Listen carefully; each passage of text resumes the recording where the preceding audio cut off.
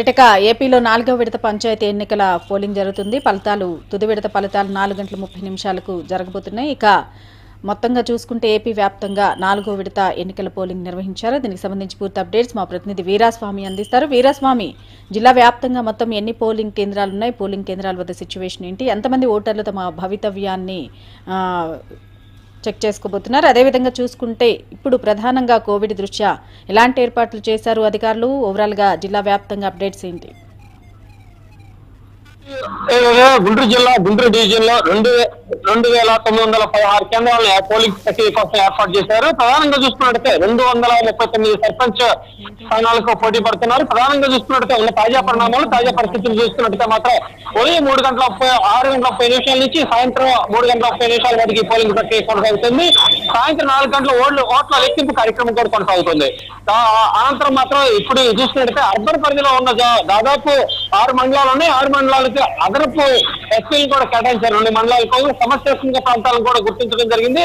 దాదాపు సమస్యాత్మక ప్రాంతంలో మాత్రం గట్టి బందోబస్తును కూడా ఏర్పాటు చేశారు. ప్రధానంగా చూసుకున్నట్టు మాత్రం పల్నాడు ప్రాంతంలో అధికార పార్టీకి ఇదివైపు చూసుకున్నట్టు మాత్రం ఆ ప్రతిపక్షాలు మాత్రం నువ్వా నేను అన్నట్టు తలపడుతున్నారు ప్రధాన ఉన్నత తాజా పరిణామాలు చూసుకుంటే అమరావతి ప్రధాన కేంద్రం రాజధాని ప్రధాన కేంద్రమైన తాడికొండూరులో మాత్రం పెద్ద ఎత్తున పెద్ద ఎత్తున వివాదాలు చెలరేగే అవకాశాలు ఉన్నాయి. అందుకనే రాత్రి పూర్తి బందోబస్తులో మాత్రం పోలీసు యంత్రాంగం అప్రమత్తమైంది. రాత్రి కూడా అక్కడ కూడా అక్కడ కూడా పోలీసు బందోబస్తు కూడా ఏర్పాటు చేశారు.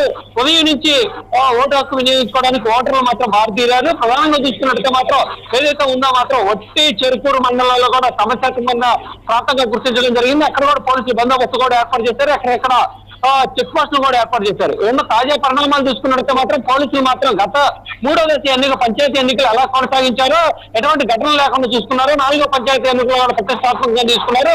అదే విధంగా చూసుకున్నట్టే రాజధాని ప్రాంతం మాత్రం పెద్ద ఎత్తున గొడవలు జరిగే ప్రాంతం కాబట్టి అప్పుడు మాత్రం పోలీసు ప్రత్యేకమైన దృష్టి సాంద్రత సాగించిందని చెప్పుకోవాలి.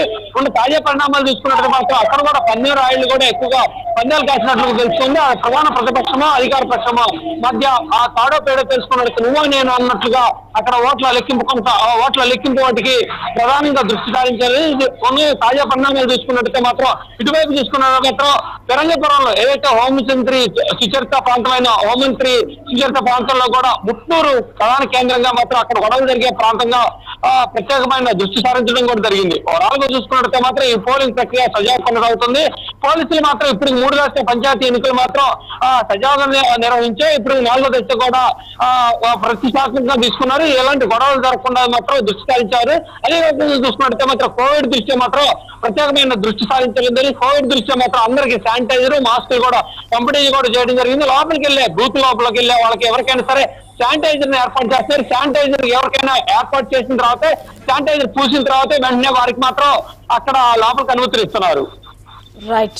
Thank you, Veeraswamy.